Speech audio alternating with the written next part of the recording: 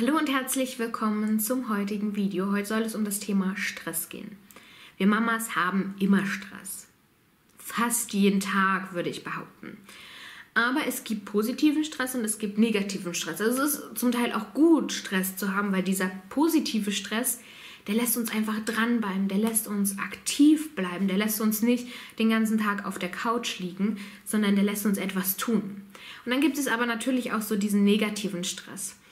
Dem bemerkt man am ehesten anhand von körperlichen Beschwerden, wenn man oft Kopfschmerzen hat, Bauchschmerzen, oft krank ist, wenn man so eine innere Unruhe verspürt, wenn man unausgeglichen ist, wenn man auch im Alltag mit den Kindern schnell laut wird oder schnell genervt ist, wenn man launisch ist.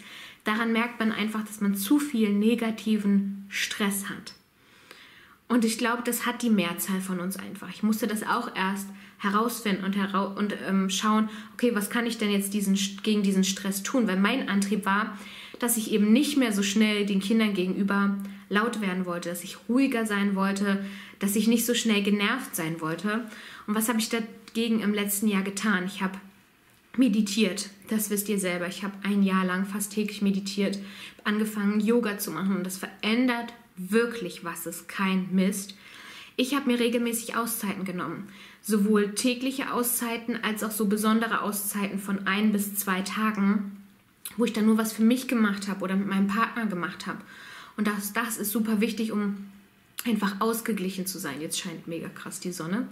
Ähm, was habe ich oder was kann ich euch noch empfehlen? Frische Luft ist super gegen Stress. Und wenn es zehn Minuten sind, zehn Minuten an der schönen, klaren, frischen Luft spazieren gehen, Sport treiben, natürlich Fahrradfahren, Schwimmen, egal was, einfach um sich so auszubauen. Und ich merke beim Sport und auch beim Yoga, du konzentrierst dich halt nur auf diese Aufgabe, diese Übungen, die du da gerade machen musst. Und dein Kopf kann sich mit gar nichts anderem beschäftigen, weil er darauf fokussiert ist, weil das kompliziert ist, gerade beim Yoga manchmal und ihr euch darauf konzentrieren müsst.